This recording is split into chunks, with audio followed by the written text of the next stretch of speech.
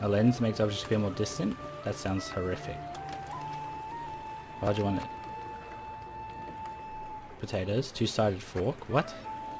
Snowshoes for horses? That's weird. What a weird dwarf. I suppose why he's, he's, he's not, not living anymore. Ooh. There's a barrel. Meve squinted, Death the better to see the scene. Several dozen dwarves had gathered on the cliff overlooking the chasm. All were turned towards a ramp, at the peak of which stood a barrel, What is that gathering about? asked the queen. Have we a feast day? Nay, Answered Gabor grimly. tis an execution. A hairy head peeked out of the barrel. The long, pointy nose and ears left no doubt that it belonged to a gnome. The first Meve had ever seen in her life. Help! Save me! The gnome yelled. They aim to kill me! Cast me in the chasm! Shut your maw! barked the dwarf standing next to him, who then shoved the gnome inside the barrel and covered it with a lid. Your crimes! The sheer weight of him, hey! No lighter punishment is fitting! The other gathered dwarves nodded approvingly. Two gripped the barrel, lay it on its side, then lifted it to cast in the chasm, paying the thumping from inside it no heed. Eh. Meve leapt from her horse and, ignoring Gabor's objections, scrambled up the ramp. What did he do? You're not allowed! Hey, damn it! What do you think you're doing? I think it's obvious. Preventing the execution. Thanks be to the gods! Whoa, Barnabas. wench, you've no such right. Judgment's been handed down. Sentencing's done. Okay, well he's Barnabas and you're dwarf. Yes. And a cruel sentence it is. One that prompts me to wonder what the accused did to deserve it. Hmm. Better to ask what he didn't do, the varmint. Arrived here with his peddler's wagon full of tricks and gadgets. Went from house to house, praised his rubbish to the high heavens, and what's it he sold us? Bombs that go off in your hand. Beard growth formula that makes your hair catch fire. Music boxes for the kiddies. Once cranked, they never plough in stop. You needed but to loosen the screw in the back and. Shut your maw, ye roaster. Doesn't he matter all that? Cause we'd have forgiven it if he hadn't broken our sacred rules and hallowed customs. Which ones, if you don't mind me asking? Enter the smithy, cap on his head, held nails tween his teeth, and poured fruit syrup in his beer. Raspberry. Just the once, and but a few drops. You got nothing to explain your villainy, scoundrel. Not Your a thing. laws. And that's not even the worst. Saved his highest crime for the end. He was in a mine. And he whistled. Ooh, oh, aye, that's bad. Shouldn't have done that. Hi, he did. Whistled. Through his teeth. And hummed in harmony a, a long warble. We all heard it up and down the shaft, and our grand elders were clear. Death's the punishment. Death by barrel roll. Do a barrel roll. Can I buy his freedom? This punishment is cruel and unusual. Your land, your laws, I shall not argue with them. But perhaps there is another way. Can a bail be posted? What the law does allow for something of the sort. Eh, But I don't see how that job is worth it. Oh, aye, he is, he is. Willing I am to take him at his word. Does that suffice? I already lost two companions. Aye. But just so's we're clear. No returns, no refunds. Now get the hell out of that barrel, you wee shite. What does he looking My lady, Oh my god. I haven't a way to thank you. I wish I hadn't saved That you. we've yet to discuss. Perhaps first we should learn each other's names? I like your glasses. Um, aye, yes, uh, of course. what a prat of me. Uh, Barnabas, uh, Barnabas Beckenbauer. Uh, to friends, BB. Meve, Okay, BB. Queen of Lyria and Rivia. A qu- queen. Cows in the corn, colour me honoured. Uh, Your Majesty, obeisance due. None necessary. Protocols for use at court, not beyond it. An inventor, you deem yourself. Am I right? Most assuredly. Though, truth be told, the dwarves saw no ingenuity in my craft. Seems I'm ahead of my time. Fiery bursts in the palm of your hand. They shall be in fashion one day, to your mind. Oh, nay, nay, just a bit of misfortune, that's all that was. You, you see, I mistook mercury fulminate for saltpeter. The vials stood beside each other, see, and... The details I need not know. But one matter I am curious about. Could you construct a bomb that would explode when desired? For instance, beneath my foe's feet as they stepped over it. of course I can. Mm, it's mine. simple. Why then?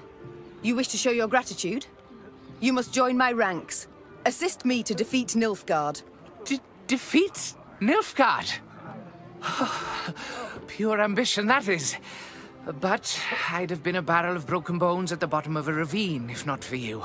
Exactly. I'll do what you ask to pay off my debt. And thus, for the first time in Lyrian annals, a gnome enlisted with the army. And though Barnabas Beckenbauer was diminutive of body, this new recruit would prove his worth on more than one occasion. I'm glad. Once of the Sizzler into the fire. Oh, out of the Sizzler. Out, out of the. You change your mind, lass, let me know, eh? Got the barrel ready and waiting. The, no. Out of the sizz, sizzle, sizzle me timbers. Gonna waste 50 gold? Yes. Ooh, two extra things. Now let's quickly add Barnabas. Add BB. Uh, BB? Considering we've had two people leave. Well, that's why I had so many points before. Alright, alright. How's it going, BB? Your Majesty, allow me once again to express my undying gratitude. You're welcome. You're most welcome, Barnabas, but please, we haven't need for any formalities when speaking alone. I, uh... Well, well, of course. Uh, how might I help you then? Um, tell me about I being like there. to know. No, I must know who I travel with. Please do tell me about yourself. About me? um, I've most civil relations with dwarves, as you saw. Uh, But, um, is there anything in particular you'd like to know?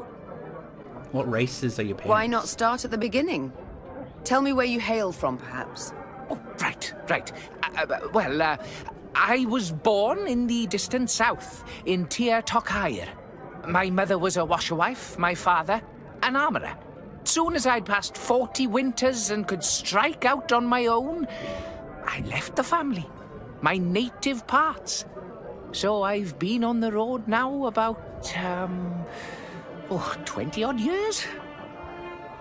So you're 60? Indeed. A rather long while. Did the South simply not suit you? Oh, I wouldn't say that exactly. It's just staying would have meant stepping into my father's shoes. Then forging blade after blade, plate after plate. Oh, just thinking on it sets my head a spinning. Not for me, that, no. No, nature.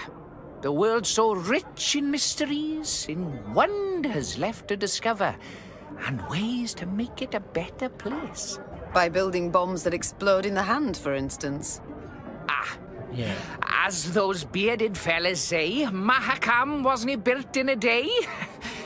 Besides, uh, nobody was seriously hurt by those malfunctions. Not many, at any rate. At the moment, have you any invention you've worked on? One that's near complete? Oh, so kind, oh, wonderful, you should ask. See, I've uh, I've ever had an avian fascination uh, for birds. You see, their wings, bones, the structure's perfect. The aerodynamicism, the the, the plumage. In short, I believe I can fly. I beg your pardon. Yes, yes, I, I'm learning to fly, fly, fly. You've not misheard. I, Barnabas Beckenbauer, will be the first norm... Oh, what am I saying? The first mammal to free himself of the soil's bondage and soar to the clouds. Hmm. But aren't bats also? Ha! A detail! This is no time to be petty. No, but frankly, my preparations are far advanced, and I'm rather optimistic about my design and prospects. I've calculated every trajectory, every force, it all works out. Just need to do a few more field tests.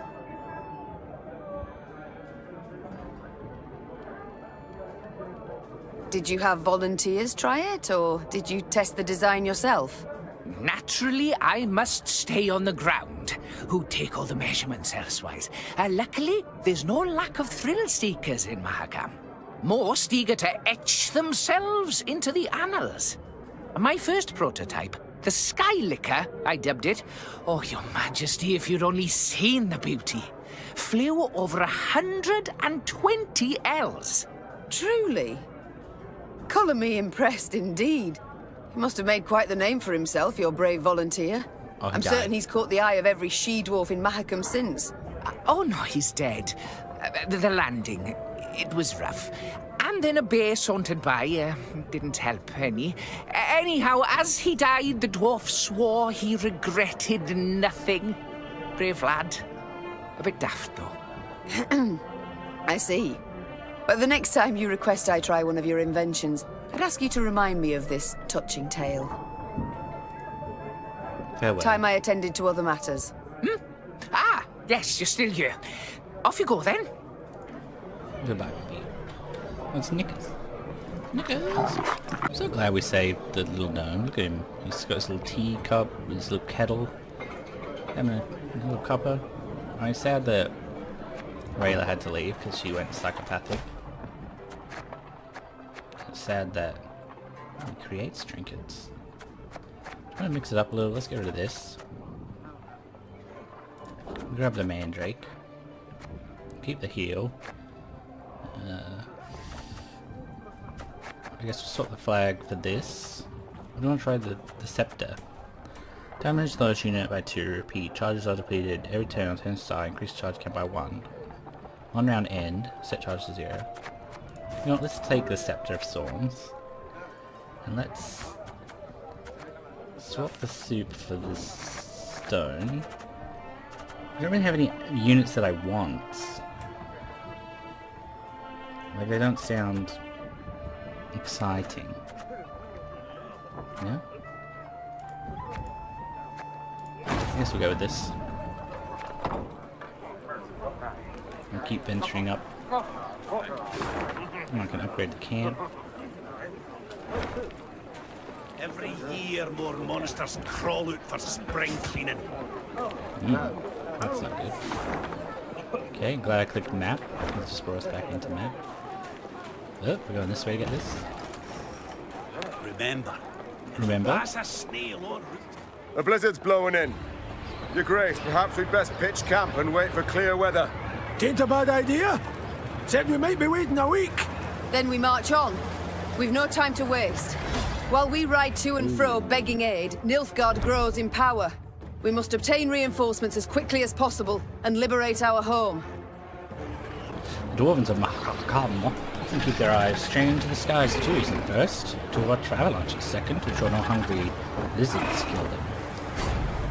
And we just found a lizard. Is that a lizard or you're just happy to see me? Okay. Is that for the whole game? Because he'll be better later. He'll be better later. Um, let's go with the slinger.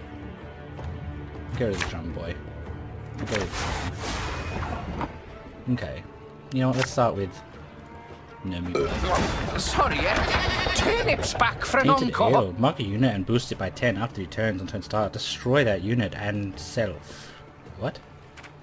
Uh, transfer damage unit to a bear. Draw and play two bronze units from your deck. Guess this.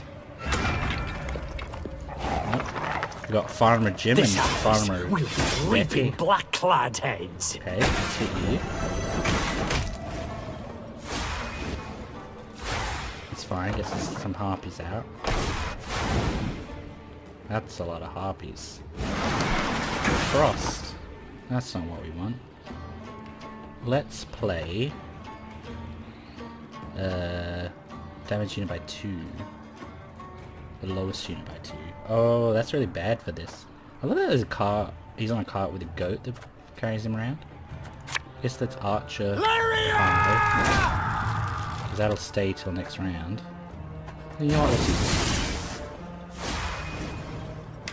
Oh, that's fine. He summons an egg.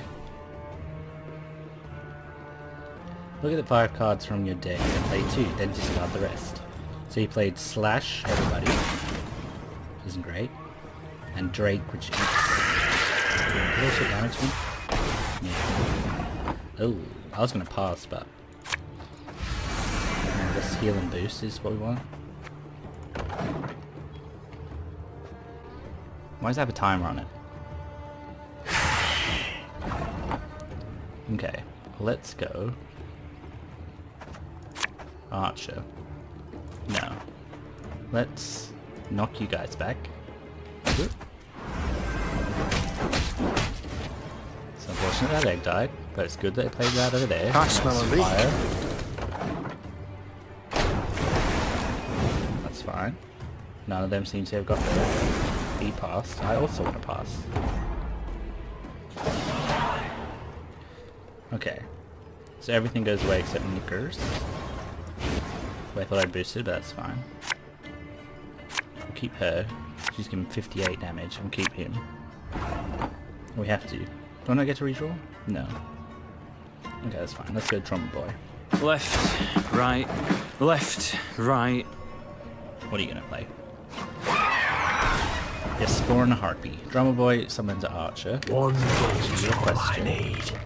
Then let's hmm, play the Mandrake. Okay, we got Necessity! Let's take Invention's mum. the Mandrake again. We'll play the Mandrake. Okay, we get a hobo. Oh no, we get this dragon. Get a hobo. There's a time to harpy. reap, a time to sow, and a time to And- die. We still have to. No. No. Uh, you know what? Let's kill this harpy. And we kill the egg. Bugger. That's fine. Okay, we get an egg. That's fine. He plays Frost, so oh, we kill that egg, so that gets us a harpy. We're gonna get Cursed the Frost. traitors. Gonna end. Uh, okay, that's fine because ate whatever that was. The wine? I think wine would kill a dog, but that's fine. Um, let's play this guy. I've hit the white Let's go, one, two, half a league away. It's another harpy, and then the harpy spawns us an egg. Hmm. Play a harpy, and then we'll play this guy. You sure about that? Um, and we're gonna punch this harpy, and then we'll punch that harpy. And then, I know this one's a harpy, but, oh, two harpies. Oh, ah, sure, it's fine. We'll end 10, and then he'll play something. Eventually. A Drake. He ate the eggs. Okay.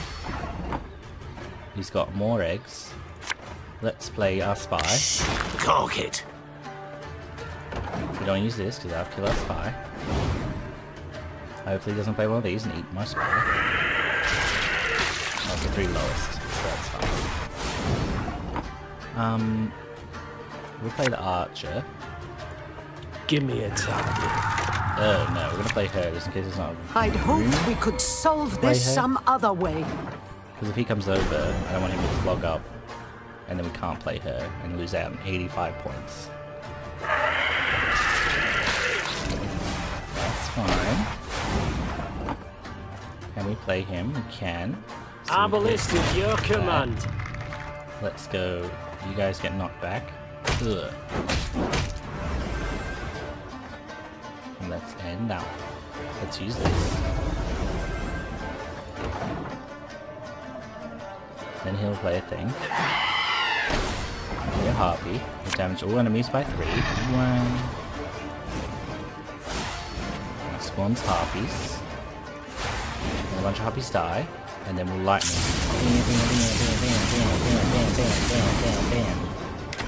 And that's it. What's he gonna do?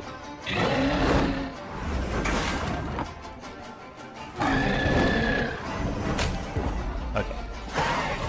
Bam, You did. Mr. Burnt Face. Okay, we'll collect your flesh. And this loot. Is this something down here? Or is this nothing? Oh, it's a question mark. Hello. Your Majesty, a she-dwarf hides in the mine. According to Gabor, her name is Stanka Morna, a renegade and thief sought by every clan. We could dispatch a few guards, but it would let her go. But if we let her go, she promised to show us where she buried treasure. Um...